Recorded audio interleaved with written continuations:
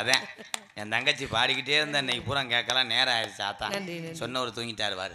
என்னடா நடத்துறீங்கன்னு சொல்லிட்டு முதல்ல தூங்குறேன். அண்ணா. கிளம்ப நேரத்தில் சொல்லிடாத போய் என் பொழப்பு போயிடும் அழைத்த காரணம்?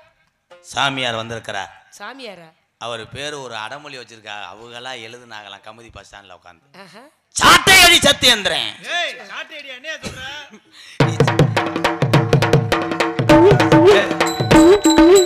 மேற்கு சீமையில மேகாட்டு கோவில்ல கதை ஒண்ணு நடக்குதம்மா. காட்டு புலி ஒண்ணு காயம் பட்டு போச்சு. காரணம் சொல்ல மாதா சுலக்காலியே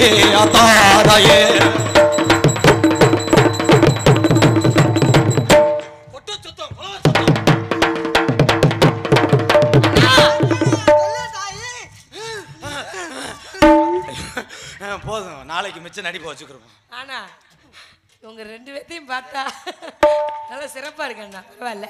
அப்படிதான் இருக்கணும். சுவாமி வரவேற்கணும் அல்லவா நம்ம இடத்துக்கு வந்திருக்காங்க நம்ம இடத்துக்கு அவங்க வந்திருக்காங்களா? அவங்க இடத்துக்கு நம்ம போயிருக்கோமா? அவ நம்ம இடத்துக்கு தான் அவர் வந்திருக்காரு. ஆனா. எவ்வளவு ரப்பு எவ்வளவு வீராப்ப பேசுறாரு தெரியுமா? அந்த- சாட்டை அடி சத்திரன்னு நீ என்ன? சாமியார் சொல்ல கோலம் போடுற குருசாமி நீ. பார்க்கலாமா? வரவேற்ப முத. நான் உடுக்கடி உடுக்க. சரி. அருள் தரும் தவமுனியே வருகவே. அருள்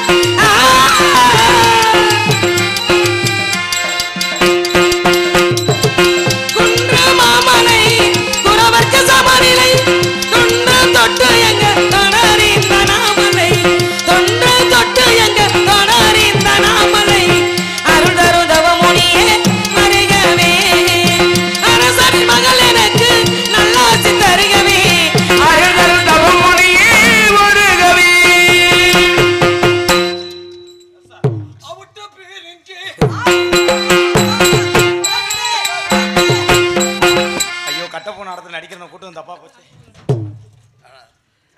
எப்படிலாம் சமாளிக்காங்க ஆனா உண்மையிலேடா. சாமி ஐயா.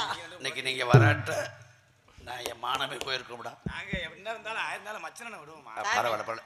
சாமி. இவ்வளவு விட பேசுறீங்களே அந்த ஐயப்பனுக்கு எதுக்கு கருப்பாடு?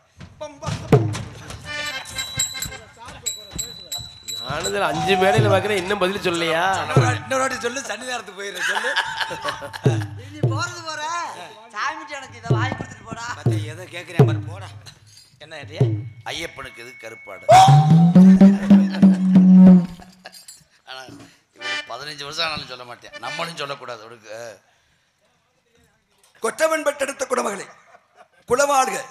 உன்னை சார்ந்தோருள்ள வாழ்க வாழ்க என்று வாழ்த்துகின்ற அழகை பார்க்கிற பொழுது பல்லாண்டு பல்லாண்டு பல்லாயிரத்தாண்டு பல கோடி நூறாயிரம் எண்ணம் போல் வாழ்வாய் மகளே நினைத்த காரியத்தை கந்தப்பெருமான் அடைத்துக் கொடுப்பான். கலியுகத்திலே அவனர் ஆளை உனக்கென்று ஒரு கதி உள்ளதம்மா. இருந்தாலும் பூப்போலை